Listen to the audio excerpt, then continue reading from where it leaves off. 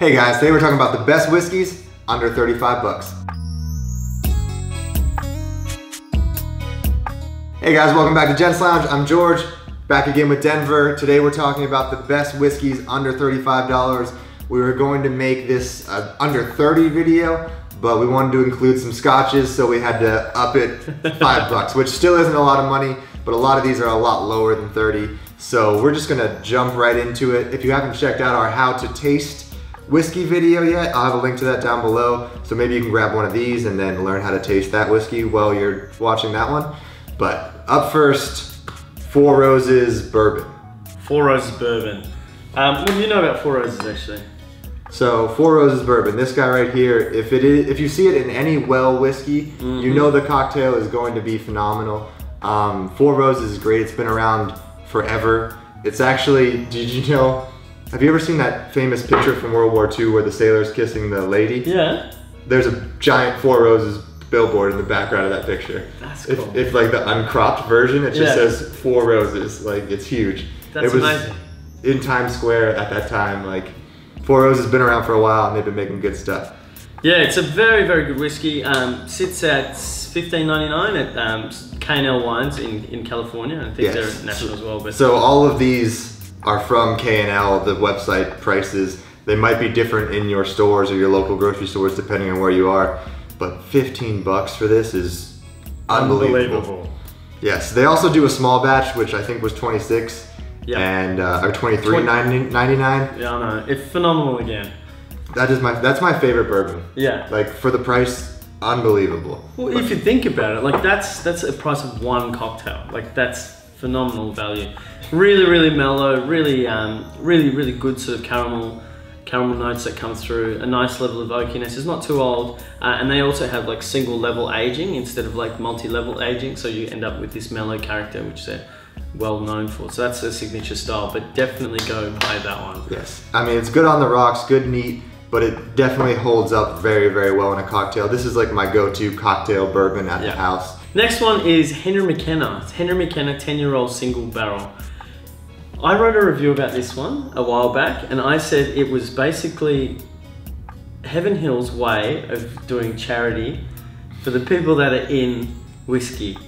The people that know, know, because the label looks like crap, the bottle looks like crap, but the juice inside is unbelievable. For a single barrel 10 year old, for what is it, $25? 25 bucks on special.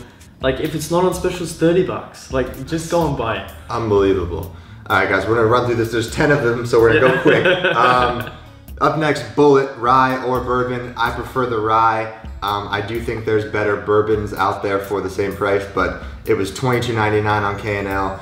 Um, the rye whiskey is kind of my favorite. It was my first old fashioned. Yeah. Like that's what I always made an old fashioned with was Bulleit Rye, and it still holds a special place in my heart. but for 22 bucks, can't beat it. Okay, uh, next one is very one uh, one that's very near and dear to my heart, which is Glenlivet 12. Definitely go and try that. It's a sort of a good entry whiskey. It's not like your Islay Peaty sort of right. smoky. It's just a really, really just nice whiskey, well balanced like definitely a good first scotch. Yes. To get into. Good first scotch. Like, I mean, a lot of people I know Macallan gets a. It's for the lower stuff. I don't think it's worth the price. I think you're paying for the name more than how Correct. good it is on the inside. Correct. Glenlivet 12 and Glenlivet 15 are phenomenal. Yep. agreed. All right, guys. So I am a rye guy. If you haven't figured that out yet, but Templeton Rye at 29 bucks is a steal. It makes cocktails that much better because the juice is that much better. Um, but it's also really good over ice and just you know sipping out on the front porch with a cigar or something. Oh, mate, it's it's a great great whiskey again. Um, it's actually made by MGP in Indiana, from what I know. Um, but that that's not a bad thing when people source whiskey and age it properly and they're open about it. So that that's a that's a really great sort of whiskey out that's out there, like Templeton, and they also do other stuff as well. But that's a good brand to check out. Next one for me is another whiskey. Now this this is made by this brand called Compass Box. Not a lot of people know Compass no, Box. Never heard of it. Yeah, you've never even tried this one. but like uh, Great King Street, there's two of them in this sort of price range. It sits at $34.99 at K&L. Uh, Glasgow uh, blend and an artist blend. Um, this brings back the skill in blending. So a lot of people assume that single malt whiskey is better than blended whiskey. Right. So like things like Glenlivet or whatever. There's a whole bunch of different brands that do Better than malts. Dewar's or Johnnie Walker. or Chivas or, Or- yeah, any of these. But this, there is a lot of skill in blending whiskey, and these guys are the trailblazers in this sort of industry right now. So I definitely go out there and buy this Great King Street by Compass box for $34.99. Phenomenal whiskey, really good base whiskies that go into this. Um, they also do a lot more expensive ones, but this is the entry level one. Really easy to drink. The red one is actually a little bit sweeter. and I think that's more approachable for a lot of people. And then go to the artist one. So the Glasgow one, and then go to the artist one. Next cab off the rank is the Highland Park Magnus. So a lot of sort of sherry um, aging in this one, but they start with bourbon like most of the brands do, and then go into sherry. Um, If I remember, it's still got the smoke on it though. has a little bit of smoke. Has Yeah. a tiny little bit of smoke on it. Um, comes from up in it's the northernmost distillery actually in Scotland in Orkney, um, and that's why you get all this kind of like uh, Viking sort of um, stuff going on here. But another really great sort of bottle. It sits at thirty four ninety nine. Um, I would say it's kind of like an autumn, spring, winter sort of whiskey. Definitely. Not so much of a summer one, I feel. Um, All right, up next, um, Elijah Craig. We've actually worked with Elijah Craig in the past, and they're phenomenal. 24 bucks for a bottle of that. It's a great bourbon. It has a good vanilla and caramel. It's more like your your sweetness. yeah, It brings the the the sugar. yeah, it brings the sugar. Exactly. It's a nice, bold, sort of tasting bourbon. Really great example of what bourbon, the definition of bourbon is to me. You know, Yeah. definitely worth a shot on your shelf. Yeah, 24 bucks. So remember that. That's pretty cool. So the next one, next cab off the rank is Russell's Reserve 10 year old. Uh, 27.99.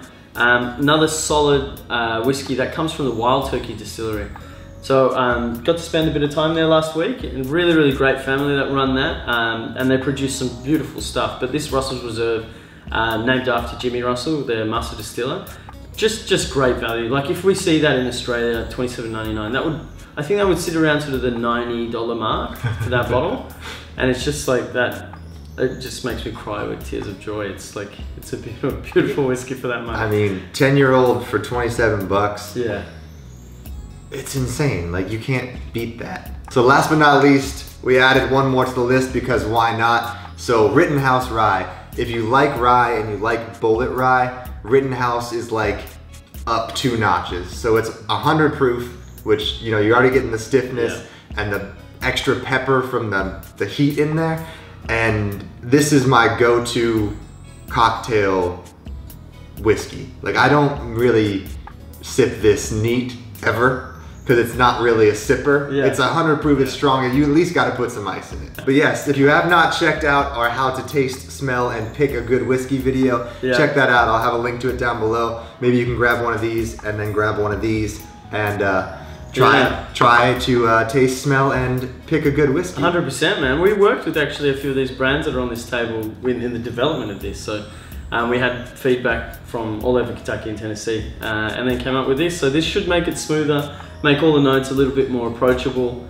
Um, you can split notes from top to bottom, uh, different sort of airflow, and it's titanium crystal. We replaced the lead Amazing. because it's better for your health. Yes. All right, guys. So if you don't know from our last video, Dever is making these hand-blown glasses. He makes a whiskey glass, a gin glass, and this bourbon glass right here. I'll have a link to those down below. You guys can check them out. But let me just tell you that, you know, if you were making an analogy to a car, this would be like driving to work in a Mercedes versus driving to work in a Honda Civic with a regular glass. Yeah. So you're gonna get there either way. But this is gonna be a much more exciting ride, I'm gonna tell you that. So once again, thanks for watching guys. Really appreciate it. If you have not hit that subscribe button yet, hit that right now. Hit that little bell icon so you get notified every time we release a video. Thanks to Dever for stopping by. Be sure to check out Dever and Liely. I'll have a link to that down below and let me know if you guys have ever tried any of these bourbons on this list. Cheers guys.